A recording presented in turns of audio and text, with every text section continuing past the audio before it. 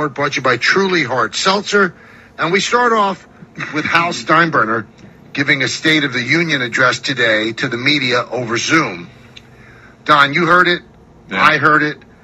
Uh, we'll let you hear from Hal, but let's just sum it up. Cashman's not going anywhere. Boone's not going anywhere. The coaches aren't going anywhere. And he puts the blame on the players. Now, in a way, I kind of like that. This is on the players. These players are better than the way they're playing, and it is on the players.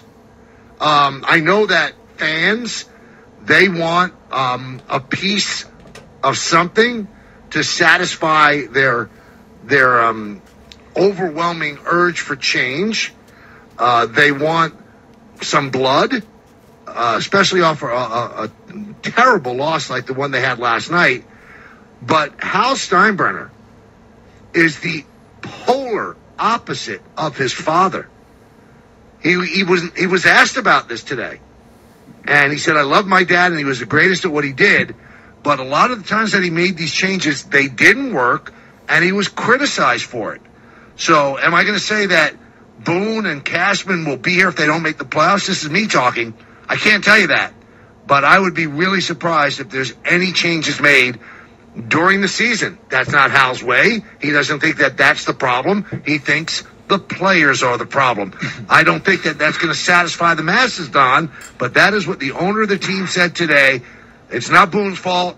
He has respect to the players. It's not the coach's fault. It's not Brian Cashman's fault. It's the players' fault. Hard words. That's about as hard as Hal's going to be. But I Right. thought I thought somewhat legitimate. The players have really not performed. Well, I, I like it and I don't like it. I I like it because we live in an era where it seems like there's no accountability to the players, right? Coaches and managers get fired because the players underachieve. The adage always is you can't get rid of the roster. It's just easier to get rid of the coach or the manager. So I, I, I like and respect that he went after what many people believe are the untouchables in sports, and that's the players.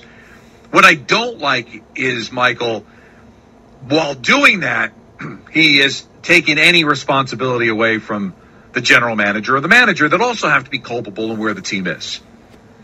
So when you when you put the crosshairs on one area, what you're doing is you're saying you're the problem. It's not my general manager, it's not my manager, it's you. And I'm not 100% sure if that's the case. Because let's face it, Michael, the players are here because Brian Cashman brought them here. Mm-hmm. So if the players are a problem, then shouldn't the general manager also fall under that same blanket of criticism? And the manager was brought in here, Michael, and we've defended him, and I think rightly so, because I don't think it's all his fault. But was did the firing of Joe Girardi work? Forget about the, how he handles himself at a press conference and coddling the players. Did it work? Because the idea was Joe Girardi couldn't take us to the next level. Well, Boone hasn't done it either. So, I much as I like that he has included the players, but making the players the exclusive here, I think is wrong because I think it's taking the manager and the general manager off the hook. Well, I think that what this does, though, uh, I think that they will be on the hook at the end of the year. Then you take a broader look and say, well, the players, the wrong players, um, and then you try to assign some blame. And, you know, he was asked point blank by Andy Martino, is there a playoff mandate? And he said, well, obviously we want to make the playoffs. Well, Andy said, well, if you don't make the playoffs, are you in fact going to bring Boone back? He says, I'm not going to go there. He said, I'm just not. He said, I don't deal in hypotheticals. But I would think that if the Yankees don't make the playoffs, there will be changes, whether or not uh, it's fair or not, because it, is, as Don said, it's a lot more, um, it's a, not, a lot, a lot easier to fire a manager than to get rid of 26 players. So there, there are a lot of issues with this team. Um, yesterday's game was a debilitating, crippling loss.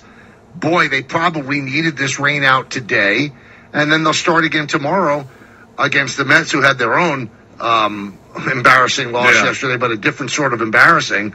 And um, I just, I, I I mean, we're going to talk to our, our listeners and, and our viewers today, and we'll get a feel on whether or not they're satisfied with what Hal Steinbrenner said.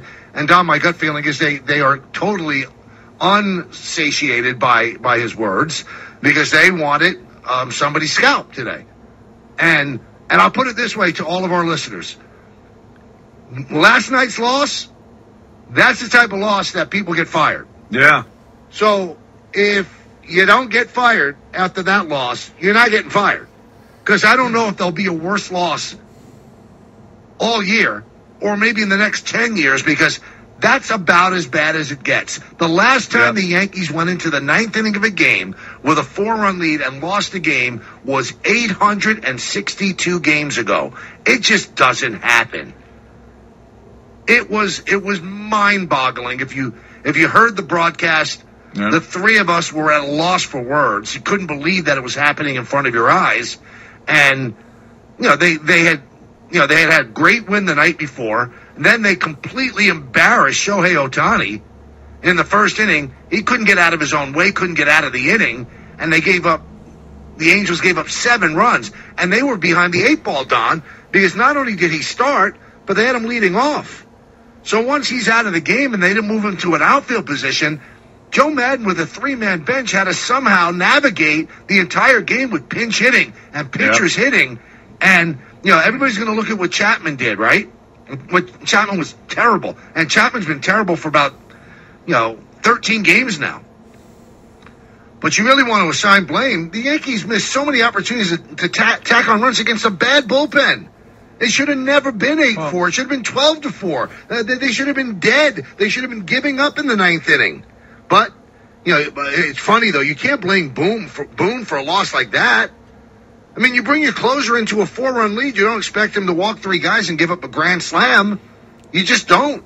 So they got to work with Chapman and straighten things out. You wonder what's going on with him. And Lucas Luetge, who's been one of the most reliable relievers they have, he gave up three runs after Chapman, so they end up losing the game 11-8. Just an awful Yeah. loss. And then when you hear that Hal was going to talk today, you figured, oh, here it comes. That's what I thought. and nothing came other than the fact that this is on the players. And, and let's dig a little deeper. It's on the players, and it wasn't like he didn't talk about Boone or Cashman.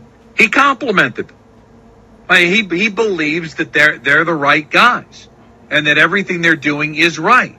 So it's one thing to say, "Oh, I, there's a lot of blame to go around here," but I want to focus on the players. They're underachieving. No, it was our problem is the players. I don't think there's anything wrong with Boone. I think Cashman's the guy. I love what he's doing. I love the way that this organization is run. I love how he accumulates information and, and does everything the right way. So, uh, how do you feel right now if you're a Yankee player that now it's all on you? And that's going to really, I think, irritate the fan base, Michael, because as much as you want to criticize players, and at the end of the day, the players have to do what they have to do. But to is Cashman just that much part of the fabric that Yes. him being called on the carpet is completely, completely uh, uh, not possible? Is he that untouchable that you can't even criticize him? I think you should. Uh, you know what? I, I I've kind of given everybody kind of a window into this. I, I think the last couple of years, Hal really respects Cashman, and Cashman is kind of like a member of the family. Well, but you know, so I, I, I, but I, I know what you're going to say. I just think it would be a seismic seismic move for Hal Steinbrenner oh. to get rid of Brian Cashman. hey, it's not apples to apples, but it kind of reminds me of the Giants with Eli. hey, the guy won me two Super Bowls. I'm going to do everything I can to just get him to win us a third one, even though it clearly wasn't going to happen. Now, it may not be at that level because Eli certainly looked done for a lot of those years, and I don't think Brian is done. But still, he, he can't be held accountable for putting together a roster that just doesn't look like it's functioning right now. Two games above 500 halfway through the season. And he, and listen, I know he's accomplished a lot, Michael, but a lot of organizations have guys that accomplished a lot. Look at every dynasty. They, all come to an end. The, the Celtics made their changes. The the Red Wings recently made their changes after being a perennial playoff team for two decades and now are in a full blown rebuild. Right? The Dallas Cowboys, any great organization, Michael, is going to go through ebbs and flows and great players and general managers and head coaches come and go. You know, you just get to the end. So that, but that's not even on, not even on the table. And again, I'm not demanding him to be fired, Michael, but just to be criticized. Hal can't say I I really have some questions on how this roster was constructed. Brian's got to do a better job. We've got to we've got to evaluate at some point how we collect players and how we evaluate players and how we sign players and extend players? That can't be questioned. He's God. Come on, I like him, and I think he's a terrific general manager, Michael. But there has to be some criticism in what he's done here recently. Remember, this is the guy that said, "I want championships, not a championship." But right now, you're not even a playoff team. You might not even finish the year as a winning team for the first time in three decades. It's um, it's not what it's not what fans wanted. Let's hear from Hal. Um, where does the blame go for underachieving? Here's the Yankee owner myself, Cashman, Boone, the coaches, I mean, we're we're responsible, right? I mean, we're we're in charge. So at some level, we're responsible for what's going on. But make no mistake about it. My opinion, the majority of the responsibility, whether it's the responsibility of, of inconsistent offense or bad base running, etc., that responsibility lies with the players. They're the ones on the field right? Uh, they're a group of very talented professional athletes that are playing this game at the highest level in the world. They need to fix this problem. They need to fix the problem because everyone, including our fan base, rightfully so, has had enough, quite frankly. It's enough. And they know that. And, you know, you're, you're, you're seeing them say that. They're taking it seriously. They had a team only meeting a couple days ago, which in my opinion is always the best type of meeting. Peers holding other peers accountable is, in my belief, the most effective type of meeting that can that can occur. But we all can share the blame, but the majority of the blame lies with them. You know, one thing I would disagree with you. How many meetings they've had? It's all fits and starts with this team. What what what what have the meetings done? Now he was also asked, "What makes you think this team is a good team?" I mean, I think series like the Toronto series, where our back was was uh, certainly against the wall, and uh, you know, playing on the road against a, a, good team. The A series, coming back after losing the, the, first game, you know, there's certainly been glimpses of championship caliber play, in my opinion, and um, performances. But the problem, as as you well know, is has been the consistency of that play. Now, he was asked if he believes that the Yankees have the right coaching staff. Absolutely, yeah. Look, this everybody on the coaching staff has has dealt with these players in the past we've had some great offenses and some great teams. So, and you know, nobody's working harder than the coaches. And um, you know, the players. The most important thing to me, always, any given year, is that the players respect the coaches, believe in the coaches, and that's absolutely the case here. All right, here's his evaluation of Cashman. Uh, Brian and I have been doing this a lot of years together. Um, he's extremely intelligent. Like I said, he understands the deal when it comes to you know relying on pro scouting, relying on analytics, but also building areas that all teams are building, like analytics, like performance science. Um, we have we communicate very well. Uh, there's not much that happens without him running up by me first. Uh, he knows that's the way I want it. Um, you know, I think he's I think he's done a good job. This this team that we put together, leaving spring training, was a very very good team, and they just haven't played up to their to their potential that I believe they still have, of course, because um, it's essentially the same team, and I'm talking about the starting lineup that um, you know we had last year and the year before, and, and these aren't aging players. These guys are in the prime. Um, they just haven't played up to their potential, and that's that's been the, the big problem. At least they haven't done it consistently. And he was asked, "Why are you all in on analytics?" I think we're all in on the analytics because it's a it's a big part of the game, a big part of decisions. And you know, we've we've we've had some acquisitions that have turned out quite well that were based almost entirely on analytics. Now, you know, Hal had his media availability today to talk with the writers. And that's his right, and he has the right to do it. And that was before the meltdown, right? We knew that. Like, yeah, it, it was yeah. announced in out like when the Yankees were leading. Yeah. Uh, it was announced that he was going to, you know, he had long planned to talk to the writers on July 1st. So, because he usually talks to them at the owners' meeting, and because of COVID restrictions, they weren't allowed. But I will tell you this: for him to still be all in on analytics, because he's an analytical guy, just in real life. If you if you talk with Hal, he he analyzes things. He doesn't. He's not a knee jerk guy. If he was on the show with with us right now, I'd say, well, you agree with the processes and you agree with, you know, how you evaluate players, but how? You have spent over two billion dollars since 2010, and you don't have a championship to show for it.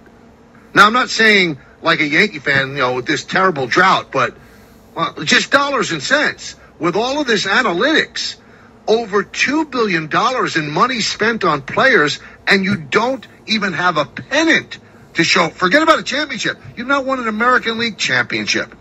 Forget about a world championship. That would be my question that I'd ask him. You keep saying, you know, we're exhaustive in, in our processes and the way we analyze things, but it has not borne fruit. It just hasn't.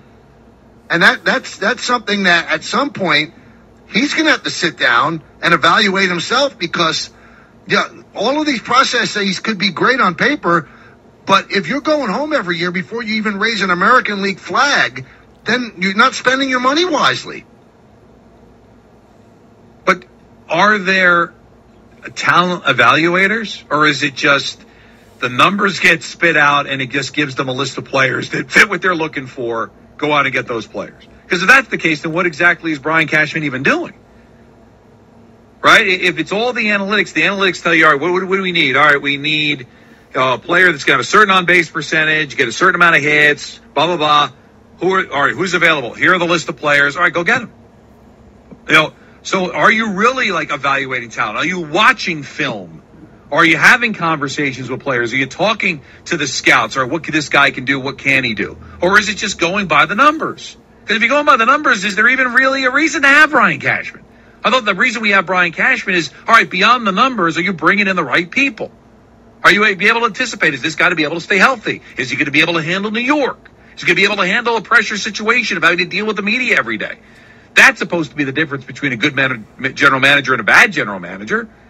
If it's just if it's just a machine spitting out numbers of what players to get, well then we talk about is there a use for a manager? Is there even use for a general manager? That's what I'd like to know. Now, another thing that he said was they would consider going over the luxury threshold. You know, everybody's running with that and go, well, you know, he, he would go over the. He said he would consider it. I don't think that they've gone to July 1st and assiduously stayed underneath the threshold when they could have gotten guys like Kyle Schwarber if they were allowed to go over the threshold, that all of a sudden they're going to change. They might. They might. He said he would consider. But how does Brian Cashman actually go to the guy and say, I want I want to spend more money on top of the 207 that has not even given us a team that would make the playoffs right now? I if you ask me, is he going to go over the threshold? I'd say no, he's not. I'd say no, he's not. Although obviously he's the guy who makes that decision. It's not me.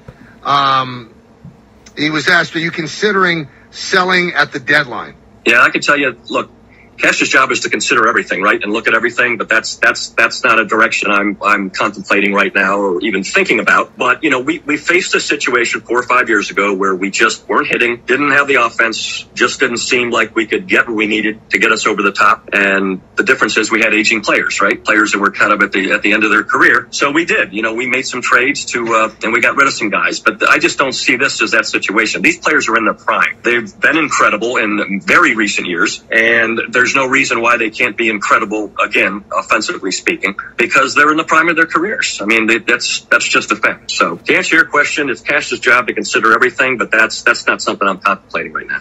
Now, he was also asked, has lack of accountability been an issue? Well, again, that's why I think that the type of meetings that they had two, three days ago now, I guess it is, are, are, are just crucial because they do need to hold each other accountable. We all have peers and we all respect the opinions of those peers. And that, that needs to happen. It did happen. It's happened more than once. They do hold each other accountable. I seem to get the sense that the last meeting was probably the most uh, fiery, if that's the right word, of, you know, the other ones that they've had during the season. And, you know, that's a good thing. That's a good thing. Um, what has been most frustrating to Hal Steinbrenner? The inconsistency particularly of the offense and you know the uh, the base pad performance. But I mean the offense, I it's perplexing. It, it, it really is. And finally, angry, but he will not make emotional decisions. Am I mad at what I see? Absolutely. Am I? I, I I'm aggravated, frustrated, um, angry. But that's not again. That's not going to push me into a knee jerk reaction to get rid of somebody that I believe the players respect, want to play for, want to win for and um, you know overall has done a, a, a, good job keeping that clubhouse together through this difficult three months. So I'm I'm already hearing it on Twitter, Don. I'm sure you see it as well. Uh, I'm defending Boone. Um, uh, same old story. Again, people want their truth. They don't want the truth. They want what they want to hear. Sorry, this is what Hal Steinbrenner's saying. Do I believe that the manager and the coaches bear some of the responsibility? Yes. Because over the years, Don has actually convinced me they get credit when things go well. What are they there for? So if things don't go well, they've got to get some of the blame. And I, I don't know how much blame to give them. But I would tell you this the majority of the blame has to go to the players. They're the ones that aren't performing. Gleyber Oh. Torres is not performing. Giancarlo Stanton can't get on the field. Brett Gardner had a good day yesterday. He's not near his career numbers. They are not performing. It's not Boone and, and Thames and Pilittere and Mendoza and Blake. It's the players. It's ultimately on the players. Because you know what? If the players have a great year, like next year, let's say Aaron Judge has as great a year as he's having now, he's going to get a big free agent contract. Not Marcus Thames. He will. He will bear all the fruits of his greatness, not the coaches. So you're going to blame the coaches if the players don't perform? Again, they deserve some blame, but I don't have the equation to tell you exactly how much of the blame they're supposed to get. But it's still odd, Michael. How we, we do this. We've been doing this for a living we've been doing the show for 20 years. And we've gone through the Jets being awful, the Giants being awful. Yeah, the players ultimately are the ones to blame, but who ends up paying the price when the players aren't good? It's usually the manager, the head coach, or the general manager, right? Because what cause that's something you can do about it. So how going to get rid of these players? Good luck getting rid of Stanton, right? Good luck getting rid of DJ LeMahieu or Gary Sanchez. How, are you getting rid of these players? I mean, I would think every coach or general manager that's ever been fired ultimately got fired because the players didn't perform. So this is the one organization where it's on the players, but the, the, the manager and the general manager are exempt from criticism. I can understand the, the, the frustration from the fans. You're making sense, Michael, but every sport, every team, when you get to a situation where the players don't perform, who eventually pays the piper? Don, I think that Boone will eventually pay the piper if they don't make the playoffs. I just don't think Hal is a believer in mid-course correction. He's a pilot. He does not believe in that. And he said that most of the times his dad did it, it didn't work. And that's true. But there were times that it worked beautifully. Right. When he went to Bob Lemon in 1978, he ended up winning a World Series. He fired a guy he loved him, Billy Martin. He went to Bob Lemon. Lemon was the calming force. They ended up winning the World Series. They don't win the World Series that year if they keep Billy. So yeah, as things got crazy and he fired managers willy nilly, in the words of Peter, then you know what? Then it didn't work. But there were times that it worked. Sometimes a course correction is needed. I'm not sure if that's the time. I'm not sure if this is the time. But there's something wrong with this team right now because this team is not as bad as they're playing. The talent on this team is not as bad as they're playing. I know, but as the games begin to pile up, you begin to wonder, all right, maybe it is. Does Gleyber Torres have enough of a resume to say that that this is the aberration and the rule is his first two years in the league? You know, I, I- don't I don't know. That's that's what that Brian Cashman's paid to do, right? Stan's here because of Brian Cashman. Gleyber Torres is here because of Brian Cashman. He made the trade. He brought Chapman back. Right? So everybody that's here is here because Brian Cashman thought that he was going to play that player was going to play at an elite level. And you're 80 games into the season and they're not. And you know what? They really didn't 60 games last year, right? Yep. They were a wild card team. They didn't win their division. They didn't win it going away. And the year before that, out of the playoffs early. The year before that, out of the playoffs early. So, you know, yeah, it's kind of bottoming out here, but you, you also have to take the deeper dive. It's been a long time since this team has won, and every single one of the players that are here, Brian Cashman signed off on. So you can blame the players, but the players that are failing you were brought here by Brian. Well, th- then it, then it becomes the age old question, Don. Did he bring the wrong players in, or did he bring the right players in, and the players aren't playing well? Well, we don't know. I mean- that, that's up to Hal Steinbrenner to decide. Because one thing that he did do, and I'll tell you what, I think that the rules changes caught the Yankees uh, kind of unprepared. He assembled a team based on last year's baseball that the balls were going to be flying out. All of a sudden, they they deadened the baseball, and the home run hitting team is not hitting home runs at the rate that they had before. And whose fault is that? Why didn't they see that coming? I don't know. But he did. He did assemble an all right-handed team in a ballpark that rewards lefties and forget about even the short porch because we could see Gary Sanchez and Judge and Stan. They could all hit the ball out to right field, Voit, every single one of them.